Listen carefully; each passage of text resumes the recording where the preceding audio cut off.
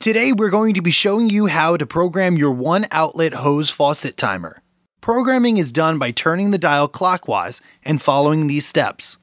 First, you'll need to set the current time. Turn the dial to set clock. Use the plus and minus buttons to select the current time of day. Hold down the buttons to scroll more quickly to the desired time. Pay particular attention to the AM and PM. After the correct time has been set, use the arrow button to move the days of the week on the bottom of the LCD and then the plus and minus buttons to select the correct day of the week. Once you have set the current time and day of the week, turn the dial to start time. This timer has the ability to set up to four start times. Only one start time is required to use this timer. However, adding multiple start times to your program can be useful to allow the water to saturate the ground better and provide less runoff or water waste. For example, instead of watering at 30 minutes at 5 a.m., you can water at three intervals of 10 minutes each at 5 a.m., 6 a.m., and 7 a.m. This gives time for the water to saturate the ground. By doing this, you are using the same amount of water, but with less waste. Use the plus and minus buttons to select the time you would like watering to begin. Hold the button down to scroll faster to the desired time. If you would like to add multiple start times, press the arrow button to move from cycle A to cycle B, C, and D, and add the desired start times using the plus and minus buttons. Once you have set the watering start times, turn the dial to how long. Enter how long you want the timer to water per start time from 1 to 360 minutes. Use the plus and minus buttons to select your watering duration. Press the arrow button to move from cycle A to cycle B, C, and D. Enter how long you want the timer to water using the plus and minus buttons. If you do not program a watering duration for a start time, the timer will simply skip that start time during watering. Finally, you'll want to tell the timer how often to water. Once you have set watering duration, turn the dial to how often.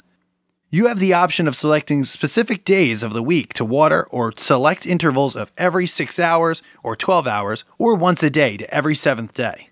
To select specific days of the week, use the arrow button to toggle between days and press the plus button to each of the days you want the timer to water. A square will appear around the days you have selected. To remove a selected day, toggle to the day and press the minus button or clear button. Instead of watering on specific days of the week, interval watering allows you to specify the number of hours or days between watering.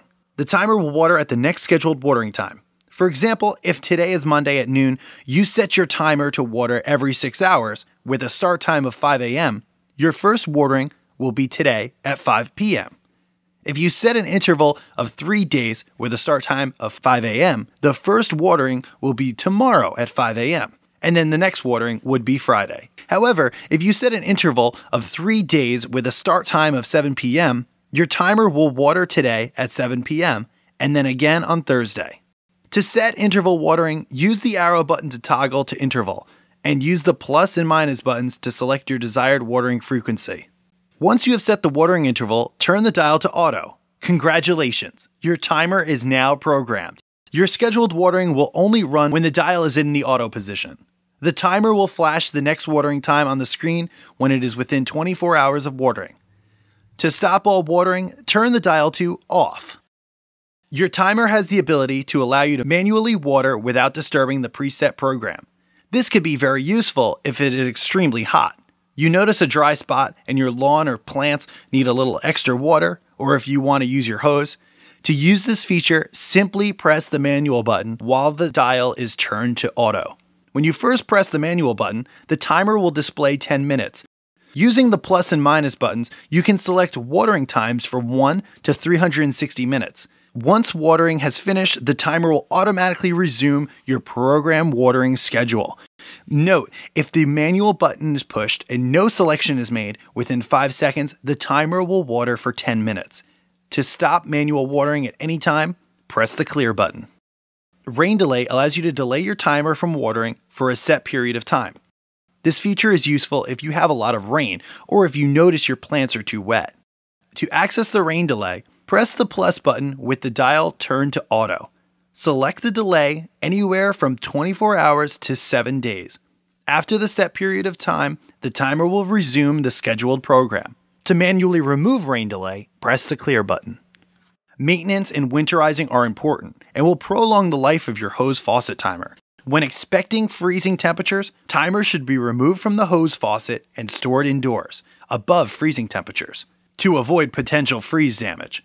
The inlet filter traps dirt particles from entering the timer. Clean the filter regularly and replace if it's worn.